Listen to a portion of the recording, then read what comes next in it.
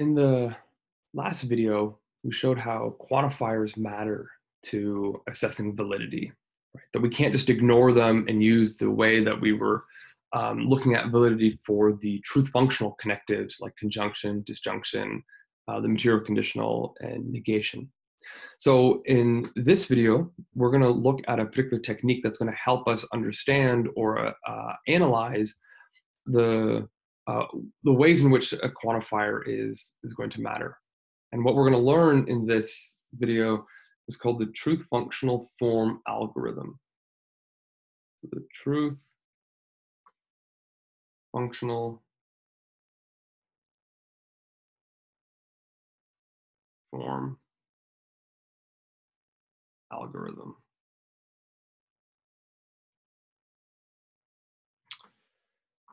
The idea is relatively simple, and we just have to learn how to implement it and, uh, and do a little bit of practice. So I'm going to introduce you to it and then walk you through the examples that are part of the problem set.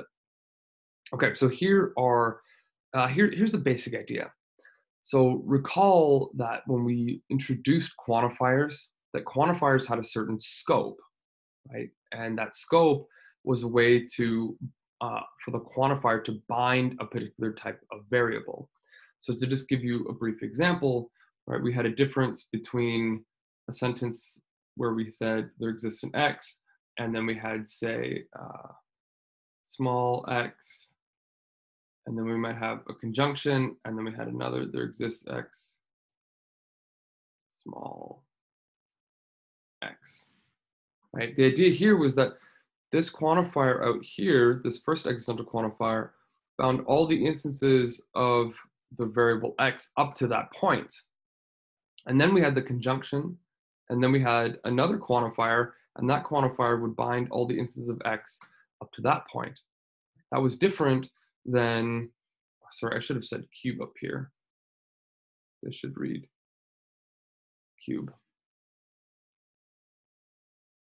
Right? So this first sentence says that there's something that's small and there's something that's a cube. Uh, we contrasted that with a sentence where we had the quantifier binding two instances of the variable x. Right here, this quantifier, uh, this existential quantifier, binds all the instances of x until the end of the scope of that quantifier, which we indicated with parentheses. So we're going to use that knowledge to analyze particular sentences by underlining the scope of all of the quantifiers. And then at that point, what we're going to do is sort of blur out all the information that's going on in the inside of the sentences that have the quantifiers and not pay attention to the connectives that are inside those sentences. So if we look at the example that we have here, let me just quickly erase this so it's out of the way. Uh, you can see in, in the sentence with one, right, it looks like it's a relatively complex sentence. There's a, like a negation, there's conjunctions in there, there's quantifiers in there. So we want to know which connectives we need to pay attention to and which ones we don't. So if from step one to step two, you'll see that anytime we start seeing either an atomic sentence or a quantifier, we start underlining. So we start from the left side and we start moving to the right. So we see that there's a negation, and then we see that there is an atomic sentence here that starts with the predicate tet. And we see that here the person started to underline that, and then once the atomic sentence is over, the underlining finishes, and we're going to give that sentence a name.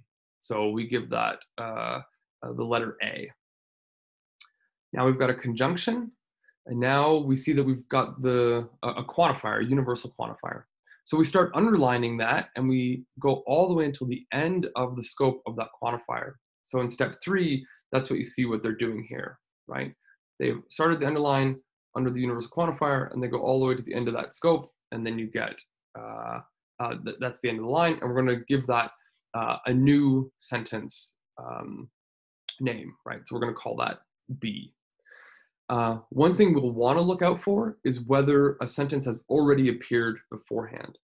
So you'll see in line four, right? So we've got another material conditional, we've got a negation, and then we see a new atomic sentence. We start underlining that, and we see that, oh, tet D has already appeared beforehand, and we had already given that a name, uh, which was A. So we're going to give it the same name again here. We continue on to the right side, right? We've got a disjunction, a negation, and then again we see a quantifier. So we start underlining that sentence until the end of the scope of that quantifier, which is uh, just after the, that last instance of y. That sentence has never appeared anywhere before, and so we give that the name C.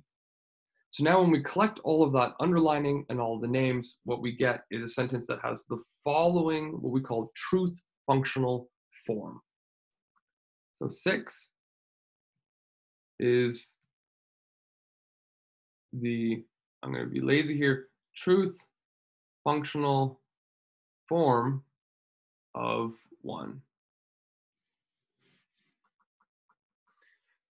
So if we now look at some other, oh, let me undo the annotate.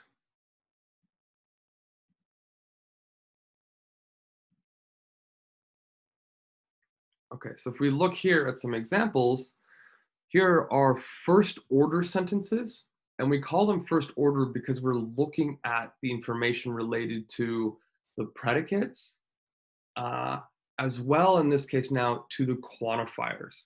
So remember, before when we had things about tautologies, we were only looking at information with respect to the truth functional connectives like conjunction, disjunction, and so forth. Now we're paying attention to not just information about the predicates, but as part of that first order information, we're also going to include quantifiers. So if we were to apply the uh, truth functional form algorithm to these sentences, right, what you would see is we have this quantifier out here binding up to that point in the sentence. Then we would have a disjunction a negation, and then here we start again with a quantifier, and the scope of that quantifier goes all the way to the end.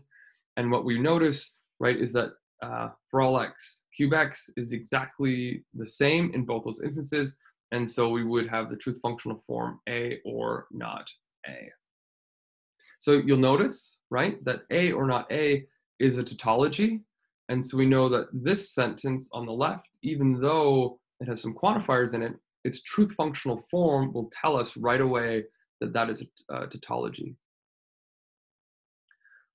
Okay, compare that to the sentence underneath that, right? So here we have, uh, when we go left to right, we see that we've got a quantifier, the existential quantifier, the scope of that quantifier goes all the way up to that point. And then we've got a uh, conjunction, and then the scope of that quantifier goes all the way up to here. And then we've got the material conditional, and then the scope of that uh, quantifier goes all the way up to the end. So the truth functional form of that is over there on the right. A and B um, is sufficient for B. Let's contrast that with perhaps the very bottom one here.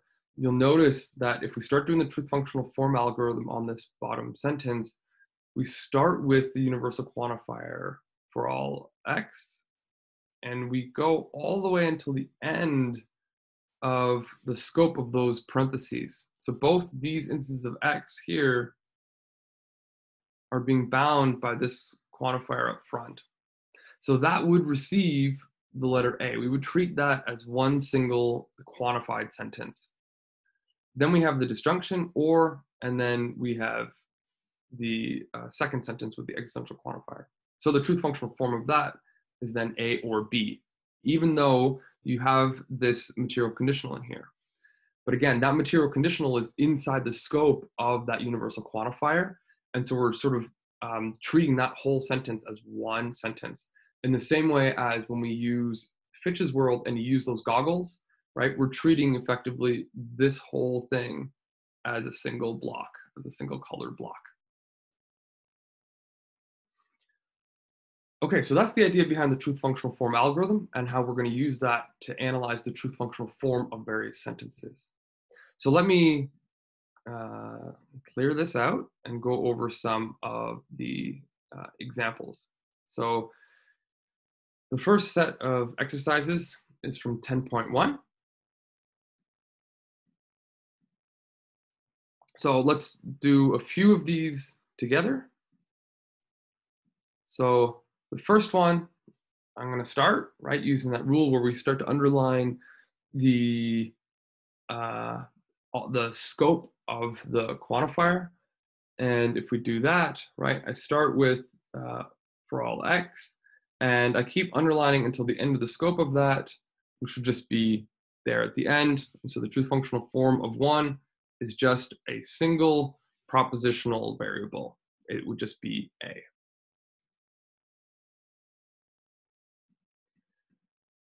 Let's do three. So I start from the left. I've got uh, an atomic sentence here. I'm going to start underlining that. Cube A. I now have the material conditional. And then I have uh, a, an existential quantifier. So I start underlining that sentence until I get to the very end of the scope of that, which is uh, cube uh, X.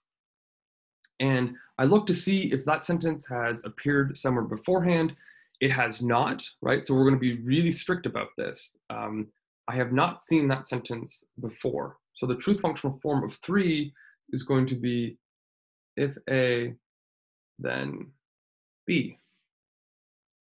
Now, you know, right, if we read three and interpret it, we're saying that, look, if there's an object called A that satisfies the condition of being a cube, then there exists at least one object that is a cube. We know that's true, right? In fact, we know that's a tautology. But we're using uh, information about not only the predicates, but we're also using information about the quantifiers. And so that means that the type of logical truth that three is, because we're making use of that additional information, is a first order logical truth. That's uh, but if we ignore that information, right, if we're only going to look at the truth functional aspects of it, then we lose those types of insights. And what we have is this sentence, which is if A, then B. And this sentence, if A, then B, is not a tautology, right? So again, that's what we're trying to contrast is that information between first order information and uh, tautological information. Okay, so let me do uh, one more let me go down to um, num number eight. So if I apply the same rule, I'm going to start from left to, uh, actually, no, let me, let me do number seven. So if I start from left to right, I see a quantifier, uh, the universal quantifier to start, and I need to go to the end of the scope of that quantifier. So I start and I see there's an open parenthesis, and I'm going to look to see where that first parenthesis was finally closed. And that happens right there. Right, so that uh, parenthesis right at the end after large Z um, as the closing parenthesis to where I'd open that. So that I would treat as a single sentence, and I would call that A. Now I've got a conjunction, and now I've got an atomic sentence, so I would underline that, cube B. And then it can, uh, so that sentence has never appeared anywhere before, so I would call that B. Then I have a material conditional, and I have another atomic sentence there that I call large B, and I would just call that C. So the truth functional form of number seven is going to be A and B, and that is sufficient for C. Okay, so for the remaining of these sentences, right, you're uh, asked to use the truth functional form algorithm to do this type of analysis. And then once you have uh, that, um, that analysis, then you should ask whether the sentence is a tautology. To answer that, you would use the truth table method that you've learned um, in, in the past units. If it's not a tautology, you then also want to ask whether it's a logical truth, but not a tautology. So like with number three, we know that that's going to be a logical truth. but it's not a tautology because if we did a truth table for number three, uh, we wouldn't get all truths under the main connective. And then the third option, right, is that it's that the sentence is not a logical truth um, at all. You should you feel free to put these sentences in Fitch, and uh, you could then even use Taut Con to to check your answer um, uh, as well. Okay, and then let me just briefly say something about the other two exercises. So let me just clear this real quick. So the other two exercises are 10.2 and 10.3. Here, you're going to use the truth functional form algorithm, as I had just spelled out, to annotate the argument. You're going to then write out the truth functional form of it. And again, you need to assess then whether these arguments are tautologically valid, right? So are they valid strictly in terms of the connectives? Or whether they are logically but not tautologically valid, or whether they're not valid at all. Again, make uh, feel free to put these questions in uh, in Fitch and double check your answers uh, before you do that. Okay, so this was an introduction to the truth functional form algorithm and how to use that to assess for the various types of validity that we've talked about so far.